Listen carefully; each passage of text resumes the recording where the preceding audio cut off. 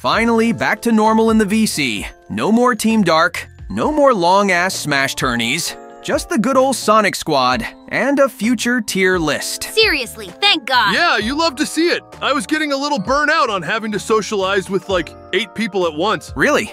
And here's you calling me the autistic one. God damn, he got you there, Nux. Oh, come on, don't start with me now. That was just a running bit for one episode. Almost like how your entire show was one big running bit. Hey!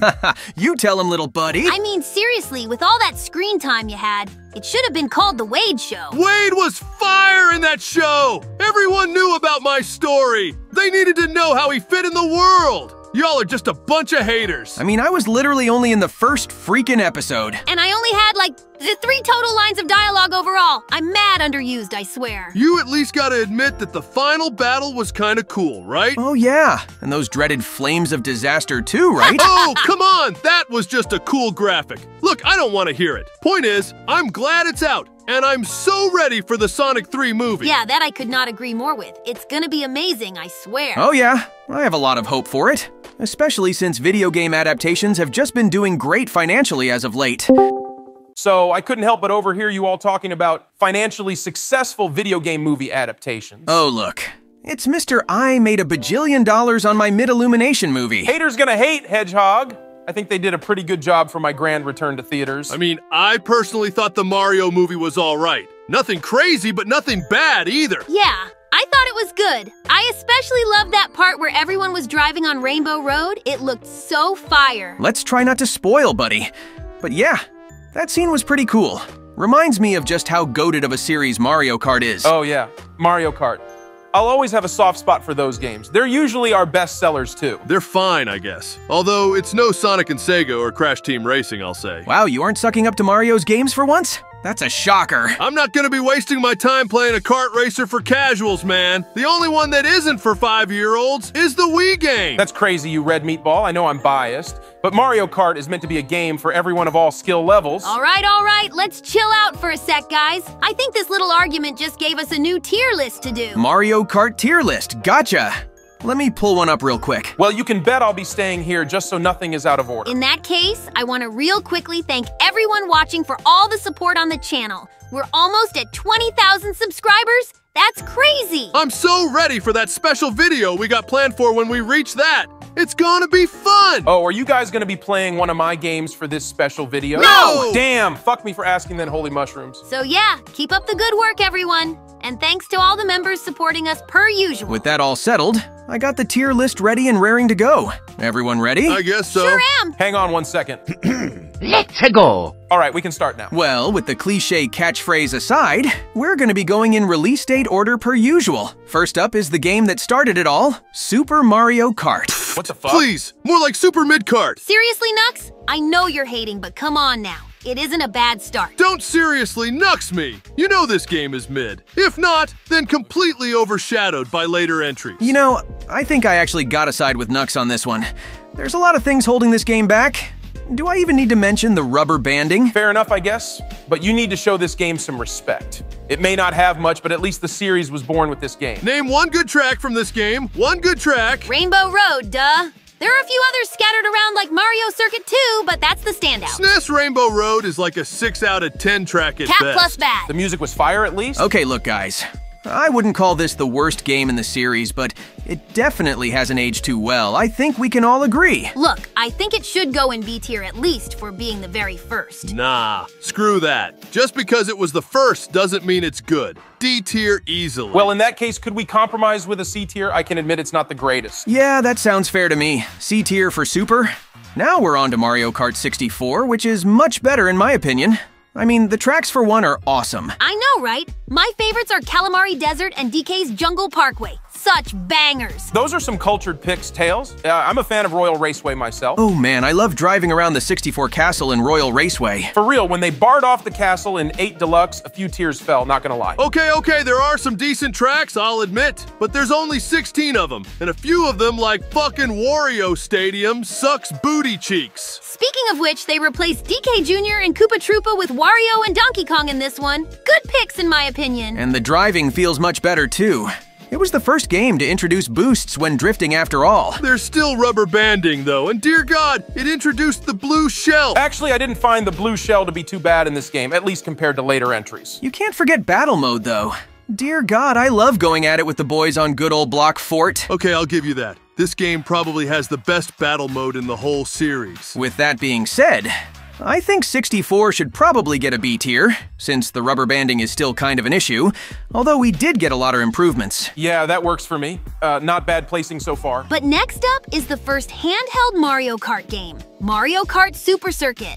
I kinda have a soft spot for this one since it was my first Mario Kart. Uh, I'm kinda whatever on this one, to be honest. It just felt like Super Mario Kart again. That's where you're wrong, Hedgehog. This game has a much more consistent track lineup, not to mention it literally has all the SNES tracks as a bonus. That's true. A few standouts for me are Sky Garden, Cheeseland, and I kinda like Riverside Park too. The rubber banding isn't too bad this time. But do I even have to mention how slippery this game feels? Yeah, it can be hard to drift, and the controls aren't nearly as tight as other entries. Putting biases aside, I do feel like this is mainly a result of the GBA's technical limitations. If you want a handheld Mario Kart, play the DS version. Yeah, that I can get behind. I'm thinking C tier above Super, though. I'd personally go low B tier, but that might just be nostalgia talking. We'll just go with high C tier for now. This next entry, though, this is where it starts to get real good for me. We got Double Dash up next. Oh, mama freaking me Mia, ladies and gentlemen, I love Double Dash so much. The tracks are peak, the roster's better than ever. The Oh, hell no! What the hell is this double cart goofy ass Oh my gimmick? God, you bitch. It ruins the consistency of the series! Okay, now you've made me mad, you Goomba ass ballsack. Ballsack? It's clear that you need some double up Mario Bros action going on. Wait, is he calling up someone? Oh my god, bro actually needs backup to defend his mid game. It isn't mid, you dumb freaking knucklehead. Yeah, it is. That gimmick ruins it completely. Yo, completely. what up, what up? It's Mr. Player 2 speaking. Who am I talking to? Yo, Lou! I got this rotten meatball in the Discord Hey! VC here. He's calling double dash mid. What? What kind of. Oh, I'm heading over right now. Wait, wait. Mario, did you just call up Lou... All right, you slimy Stromboli. Who the hell's calling one of the greatest kart racers ever made, mid? Yo, what up, fellow player too. Also, that was Knuckles over there. I mean, the double cart thingy adds way too much stuff. And in multiplayer, it makes everything too chaotic. You clearly don't know nothing about Double Dash. The chaos is the beauty of the game. I can't tell you how much fun me and Mario have had chucking Bowser shells and giant bananas while driving on Baby Park. Amen to that, my brother. That shit's tight. Not to mention that they finally eased up on the rubber banding fully. It feels so much more fair when you win or lose now. Also, I don't know what you're yapping about, Nux, but I actually really like the double up gimmick. So true, fellow player, too. Yeah, they should bring that shit back on God. And need I mention the tracks? I mean, I already talked about Baby Park, but you also got DK Jungle, Mushroom City, and Daisy Cruiser. You would pick that last one as a favorite, you fucking simp. Lay off my brother, you red bitch boy. Look, can we just ignore this Stromboli and put this game in S tier already? Yeah, I completely agree on that for once. But now we're going on from one goat to the next. Mario Kart DS, folks. Oh yeah, this is my personal favorite handheld exclusive Mario Kart. It's freaking great. You said it, bro. Those custom carts were gas. My poltergust looked sick as a cart. And this is where Mario Kart tracks started peaking, dude. Tick-Tock Clock, Airship Fortress, motherfucking Waluigi pinball. Need I say more? Also, this was the first game to introduce retro tracks, which doubled the track list to a whopping 32 whole courses. Even though the retros weren't really up to par with the Nitro courses, it was a neat add on that improved the game overall. Why the hell was R.O.B. added into the game, though? Like, that was so freaking random, dude. I don't know why we added R.O.B., not gonna lie.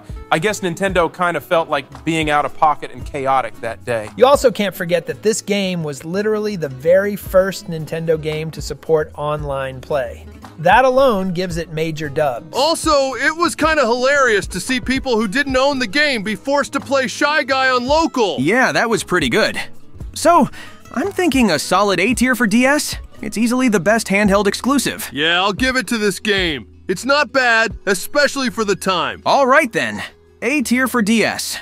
Next up is yet another heavy hitter, Mario Kart Wii. Oh my gosh, I love Wii! So many timeless memories on this legendary game. You said it. This is where they finally gave us the option either carts or bikes, each of which behave differently. Let's get this out of the way though. Who here shamelessly went Funky Kong and Flame Runner every time? Me! Yeah, I thought so. I much appreciated the skill that a lot of the tricky shortcuts required. Not to mention, it was chaotic, without any double up gimmick. The double dash hate is still crazy, but I can see where you're coming from.